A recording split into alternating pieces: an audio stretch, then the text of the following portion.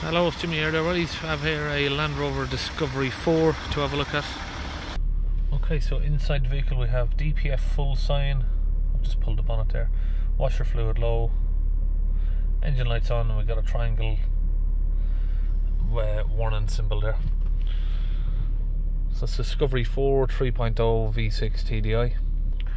Okay, so I've just been using this tool in a few videos to see what it's capable of doing and what it's not capable of doing. This is the ThinkScan 689BT from ThinkCar. Uh, I'll put a link in the video where you can buy this tool from. So the link will be in the video description with a 10% discount code for it. Um, right, let's just um, find out about diagnosing this car now.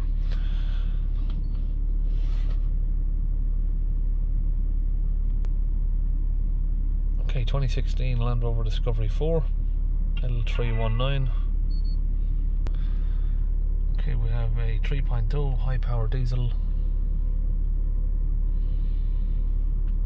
A health report.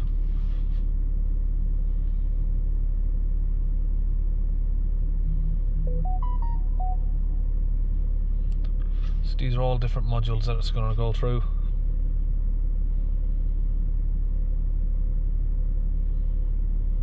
Okay, fault codes are up. We have P2463 particle filter pressure sensor circuit range performance NOx exceedance NOx exceedance on these can usually just be triggered off because it's got a black DPF or it's low on AdBlue.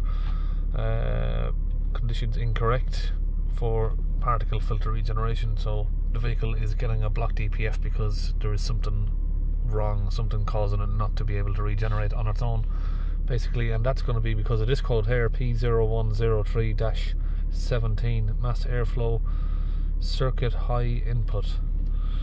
Uh, right let's go into this module here. Mass airflow we'll try and look at that. We'll get the DPF pressure up as well. See how badly blocked the DPF is.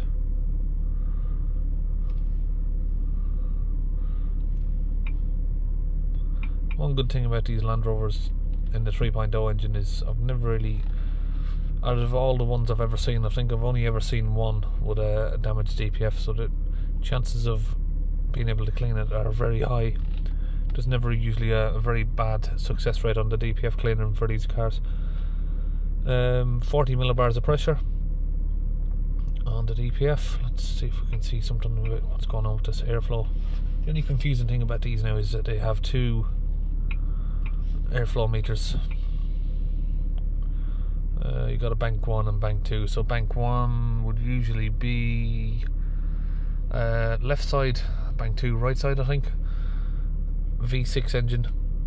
I did get questions before what does bank one and bank two mean. If you've got a car that's got a normal four cylinder engine and you've got bank one, bank two, it, the bank two doesn't mean anything. You've only got one bank really. Um, but bank one, bank two would be the left side of the V6 engine, right side of the V6 engine. Airflow B, airflow A, uh, let's just, oh, let's just click everything. Airflow from mass airflow sensor bank one, 5.2 grams.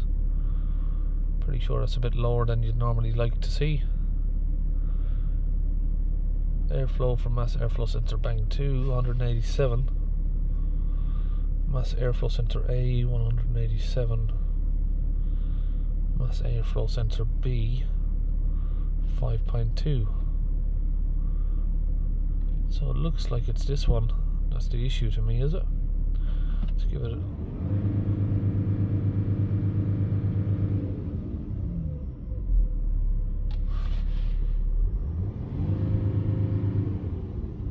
sounds like we might have an air leak. Let's have a little visual check around see if we can see any signs of air leaks, boost leaks. Uh, can we open this without getting splashes? Let's see. Yep.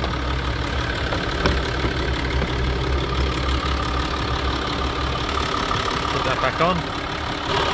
So first place we're going to check is just around here, manifold. These can crack, they're plastic. We'll check both sides of those, see if we can see any sort of wet signs of wet oil or anything like that. Look down the front of the engine, see if we can see anything there. This clip again is another place where you can have leaks around here. If we can't see anything, we'll just uh, do a smoke test. I'm going to try and figure out which one of these is A and B really, so um, try and keep an eye on these while I disconnect like airflow 1, airflow 2. Okay, so this is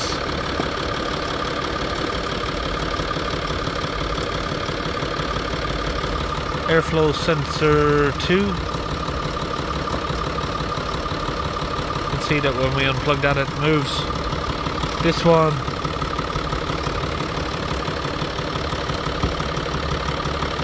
There we go. So as far as I'm far I can see on these engines is this is the main air intake. This is a secondary one, so maybe that's supposed to pull less air. It's a smaller tube, but flattens out quite thin there.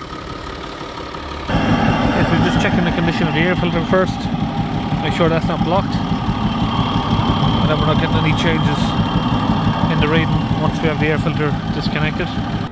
Okay, so now I'm using a Launch UK smoke leak detector. Just got that hooked up at the minute. Just going to keep an eye out, see if we've got any sort of leaks anywhere that's connected into the intake there. We've got one blanked off. Okay, so we've got the airbox off. We haven't found no air leaks anywhere. What we're going to do is this one is the 0.21, so we're going to disconnect that So we had 0.2 reading there for that one. Disconnect this one. Swap them over.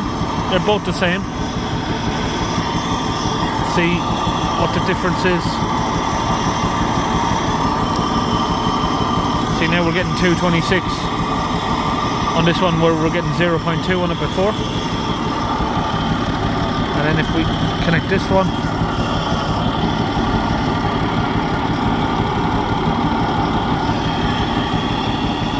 we're getting 19.8 so you can see that when we switch them over we're getting 226 over this side that we were getting the 226 on this side with that filter with that air airflow meter on this side so it looks like we've got a bad airflow meter really Okay, so I'm hoping you can see the screen here. I'm trying to get it in a position where the glare is just about right where you can see. Mass airflow sensor A, airflow sensor B. I've now determined that that's B.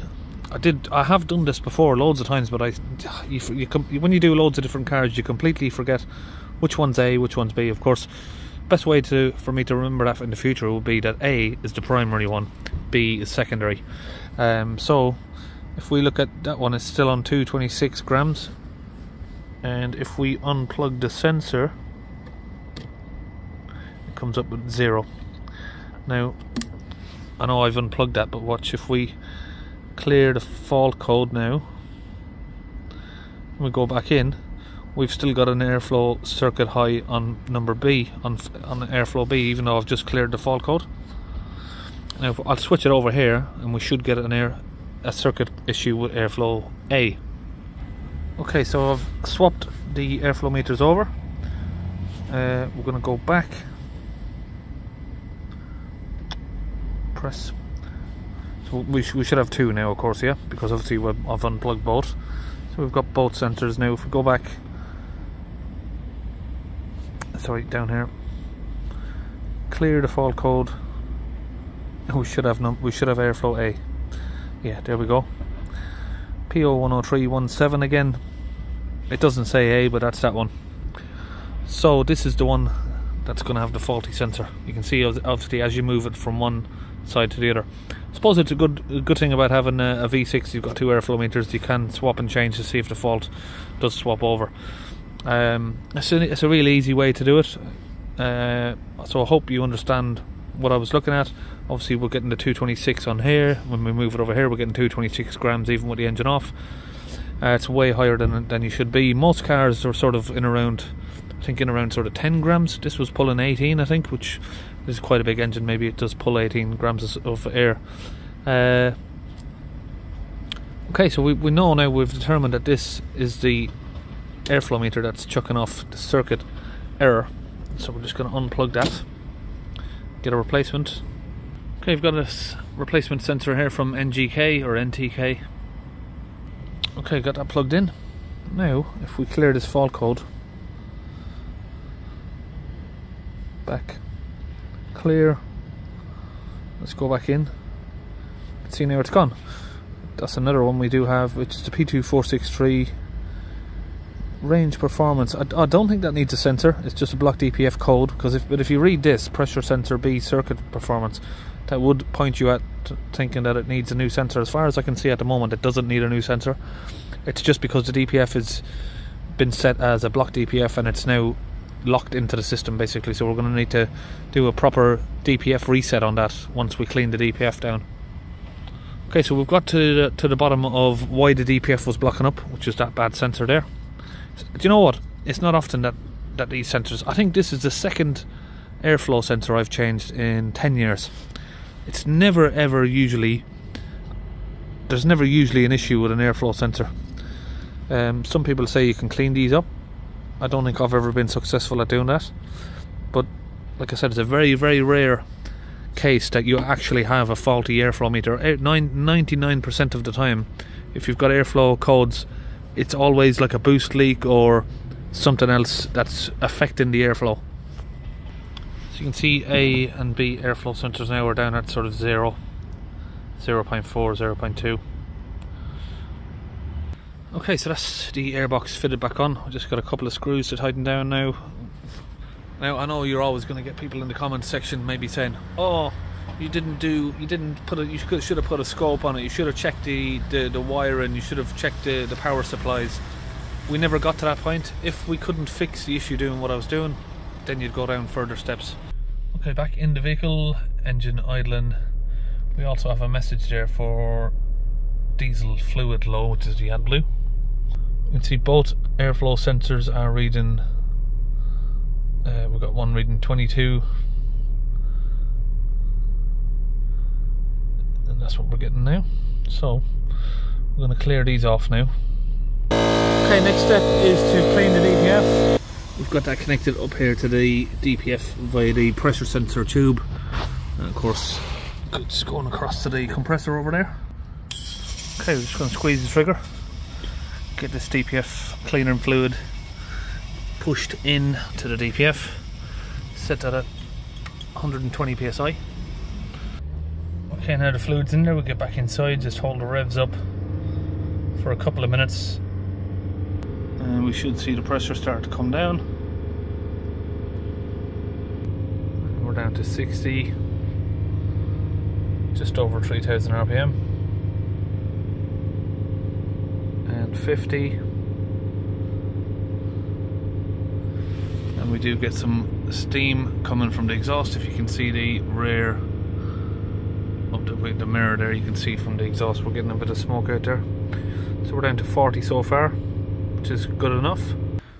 Okay now we're going to use the tool to reset the DPF values which is doing this setting it as a replacement basically. It's the only way to reset it but now we have the pressure down nice and low it's safe to do this if you reset this without cleaning the DPF you have a risk of damaging it Okay, that's complete. There's a message for exhaust fluid level low. I'm going to top that up soon. Okay, now we've done the resets, we're just rescanning the vehicle. We should probably now just have the P2B AE NOx exceedance, but once we've topped up the AdBlue, I've shown that on my videos before, you top up the AdBlue and that NOx exceedance code will go away. sometimes you don't even have to clear the code. You just top up top up the AdBlue rescan the car and the fault has magically disappeared.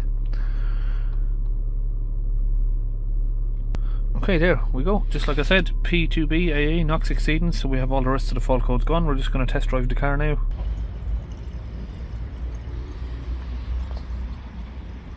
okay so that's the AdBlue topped up now let's rescan the car and there you go just like I said fault code has gone now. We have no more NOx exceedance. We haven't done anything just apart from reset the fault code like we done before we topped up the AdBlue. Okay, the vehicle's gone on a test drive.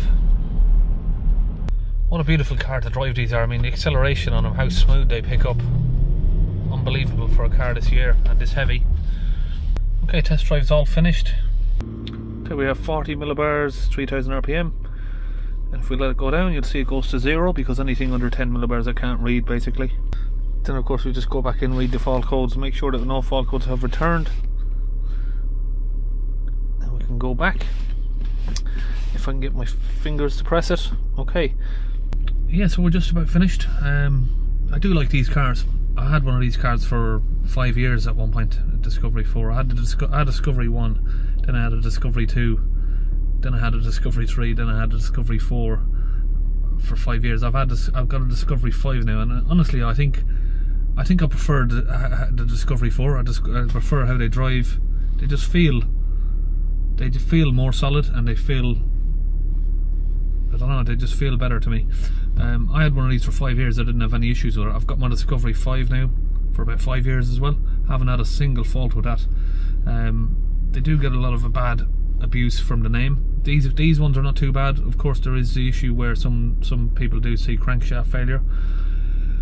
I think that's from abuse, to be honest. Maybe not changing the oil often enough, or towing. You know, a lot of people tow tow heavy stuff with these three and a half ton diggers and stuff.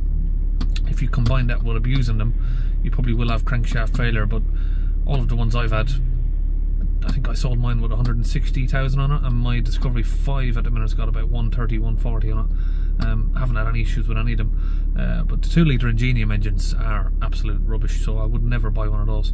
But in, in regards to these these discoveries, in my opinion, one of the best all round cars that you can you can actually buy. Like um, they're just very practical. You can tow them, all of that. Uh, that's just my input on these cars. A little bit of information while I was just going through what we're doing here. But we're basically just about finished now. The DPF clean. The airflow meter is reading correctly um, all good. That's it, we're all finished on this one. See you on our next video.